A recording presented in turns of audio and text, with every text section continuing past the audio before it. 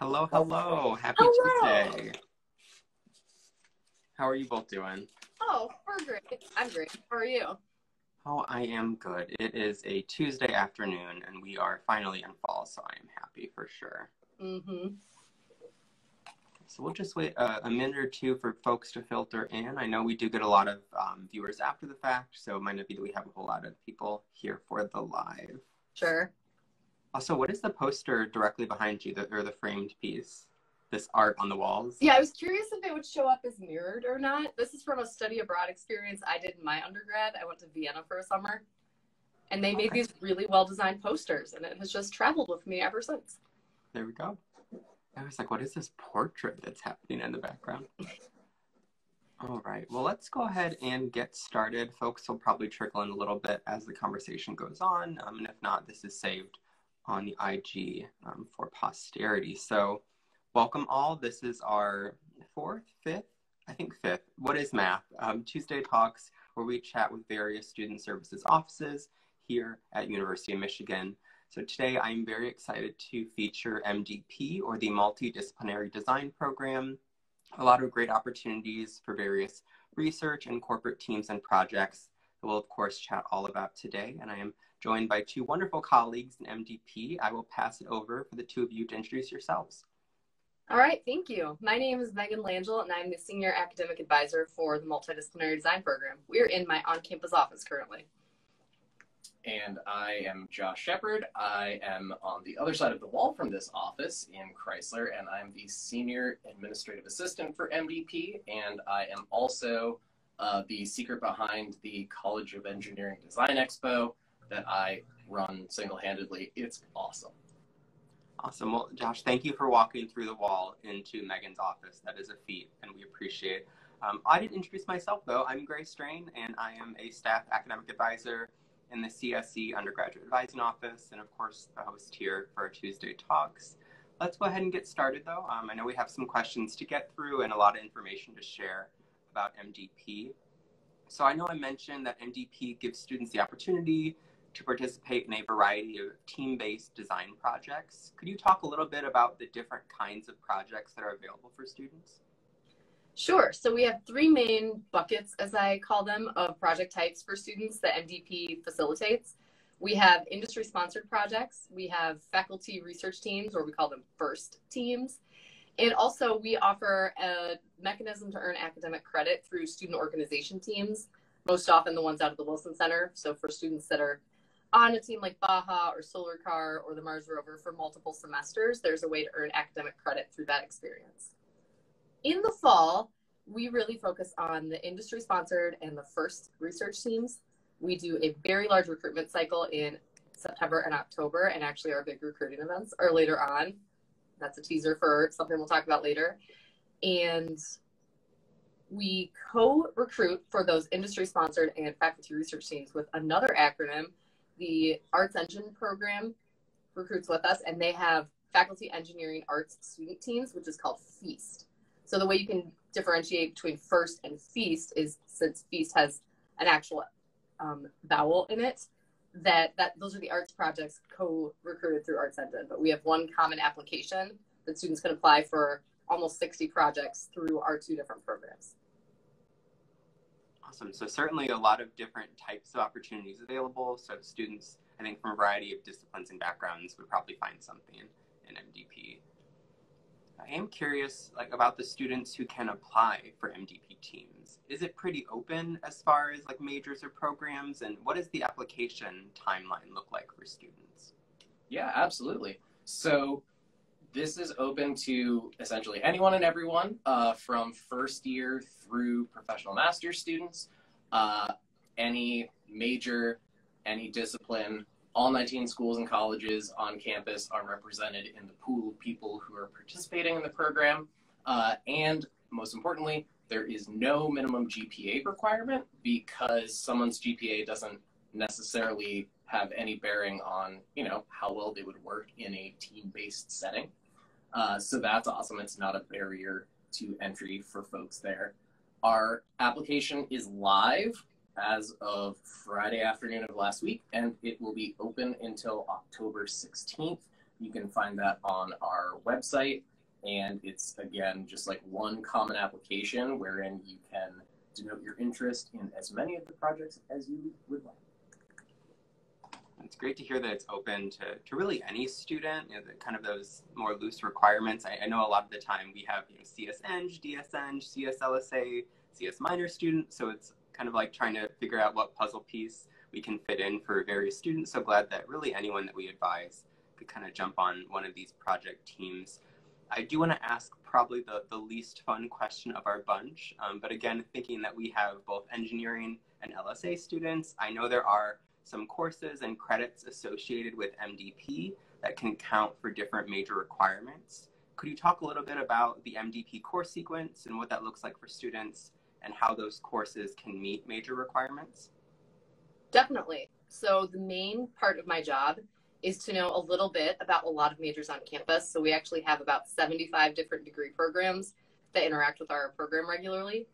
And we offer our own course sequence that look on a resume or a transcript rather as a lab course, but it's really an independent study esque class that represents your work on the project team. Those courses are engineering 255, 355, and 455. For students that end up doing a master's degree, we also have a graduate level of engineering 599. If you apply for one of the projects that we're recruiting for right now, so those industry sponsored, the FIRST projects, and the FEAST projects, a requirement of participation on those projects is to earn academic credit. So just like you might go into EECS 281 and know that you are earning credit for that experience, it's the same with ours. Even though, you know, it's a lab-based project course, it, we still need students to enroll for academic credit. One way that we make that easier is that we work very closely with all of the different degree programs and the undergraduate curriculum chairs to get as many of our projects to count toward a specific degree requirement so checking off a box in your degree, so to speak. And so the most direct use of our MDP project credits is for students in CS who have completed EECS 281 and are on one of our 18 pre-approved projects for the CS MDE or capstone.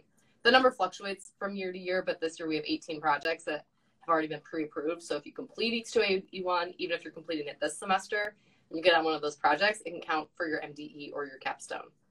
There are a couple extra requirements that we update on our website, which involves a specialized CS MDP student class that students take with Professor Jeff Ringenberg. So he leads this lecture and it's all for CS students on MDP projects. And so that's how they get their degree requirements through participation in that. For the industry sponsored projects, that is the setup. It's the most robust setup and it's four credits each semester on those industry projects. If you are on a faculty research team, you also earn engineering credit, and all students can earn up to four credits of flex tech through the directed study rule as long as they're in engineering 355 or 455. So first year students that might get on one of these projects at the 255 level, that most often goes toward general electives. I know that you also have data science students that you all work with, and we have a similar setup for data science students that they can earn the capstone as long as they are, you know, close to their graduation timeline if they're within three semesters ish of graduation. So I work closely with the academic departments to see who's eligible for that, but there's a way for data science students to earn their capstone as well. Good to hear. I think that's always our question whenever we bring up like some program opportunity or anything research is, well, what can it count for? So knowing that there are some some possibilities as far as getting MDE or FlexTech done for our engineering students. Um, could I just confirm, like for CSLSA students, what requirements they might be able to expect um, taking care of with any MDP courses? Yes, so CSLSA students can earn the capstone credit with our projects. And another thing that's really relevant, not just to CSLSA students, but we have an academic minor as well. And so students that are earning capstone credit from CSLSA can also earn our minor in multidisciplinary design. So often students like to hear about that as well. And that's something that I can talk to interested students about. Of course, so sending all of the students to Megan for all the questions about course stuff. Um, but there are certainly, again, opportunities um, to count some of those major requirements through the MDP process. So mm-hmm. I know we kind of um, showcased this a little bit earlier, but I want to give you the opportunity to talk about some ways to get in contact um, with your office um, and certainly a, a, certain series of events that's happening this week, I believe, um, tomorrow and Thursday. Yes, indeed. So this week are the major recruiting events for this cycle that will run projects from January through December of 2023. Uh, we have project fairs taking place tomorrow evening in the EECS atrium, and then Thursday afternoon in Pierpont, Duderstadt Connector, Duderstadt Atrium. Uh, students can either attend one or the other or both, depending on how many of the projects they're interested in. Uh, they will all be represented the same way across both events. The only difference is time and location, uh, but there will be representation from all the projects that are recruiting for Feast and First and the corporate sponsor teams as well. Uh, if you can't attend either of the events, that's completely and totally fine. You're still encouraged to apply. There's lots of information about the projects available on our website as well. Uh, you don't need to uh, like register in advance to attend the project fair. You can just kind of show up, head to the nearest check-in table so that you can get on the list for follow-up information, which is very useful and key. Um, and then you can get kind of follow-up information about all of the people that were representing their companies and you know details about the projects and stuff like that. Uh, these work more like a casual career fair. Like you don't have to show up suited and booted uh, by any means. You can if that's your day to day, but it's definitely not a requirement. We recommend reviewing all of the information about any of the projects that you might be interested in in advance uh, so that you can speak with a little bit more apparent technical understanding to the representatives of the projects because that kind of shows uh, the degree of your interest and like pre-commitment um, and is a good way to kind of differentiate yourself from the masses. Like if you go to a table with say northrop grumman and you know what you're talking about uh, the folks representing the company will remember you and keep that in mind when they're reviewing applications in the future. So definitely recommend students you know go to these opportunities tomorrow and Thursday, and certainly do your research, like Josh said. Josh said, excuse me. Um, also, I will be stealing "Suited and Booted." Just gonna tell you that right now. So I will give you a trademark, a copyright on that where possible. Mm-hmm. So I know we're coming to the end of our time here and kind of the questions we had planned, but I'm I'm curious for one final question. Um, why should a student do MDP? I, I, appreciate that's a big question, but I'd just love to hear y'all's insight about what it adds to a student's experience. Sure. So all of the opportunities at Michigan Engineering are equally wonderful. And students have the job of kind of wayfinding between which ones that they would most like to pursue. And we are a really good home for students that like hands-on learning, that like open-ended design problems, that are excited about a challenge that hasn't already been laid out exactly what the solution might be. We are part of a suite of offices called the Immersed programs. So you might have heard about that. There is an Immersed fair tomorrow that's officially for first year and transfer students, but people might walk by. If they happen to see me at a table and have a specific question about MDP applications, I'm happy to answer it. So the Immersed programs are all for students that want to do something outside of their major. And ours just happens to be very design focused, very project focused. Often, engineering was finding that some majors did not participate in a real hands-on project between Engineering 100 and their major design experience or capstone. There were fewer long-term immersive project experiences. The MDP projects, especially the ones that we're recruiting for, are a two-semester design cycle.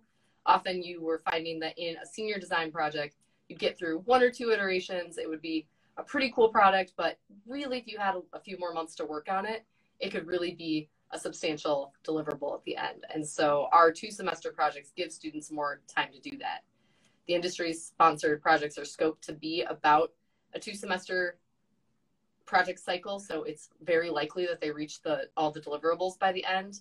The faculty research and the the feast projects are more long-term projects, especially if you're interested in research or innovative ex- exploration of ideas. And so for those projects, there's often the chance to stay on for more than the two semesters that you've originally applied for. So especially students that might be interested in graduate school, our first teams are a very good way to see if they like long-term research. I think MDP is a really great option for students that want, like, like you said, that more in-depth experience, that, to borrow the language, immersive experience um, mm-hmm. in their engineering education. Um, any final thoughts that either of you want to share about MDP, uh, anything you want to share with students before we wrap up today? Hmm. Um, really, just come say hello during the events this week, and uh, we have some really cool projects this year that anyone with even like a passing interest in hands-on engineering opportunities should just check out. Mm-hmm. Oh, I would like to close with a story. I have a liberal arts background, so I like to use, you know, examples. So we had a student one year. This was before COVID when we could just do things in person with large mm-hmm. groups of people, and it was just the norm. And this gentleman just rolled up on a longboard, happened upon our projects, and was like, "Oh, what is this?"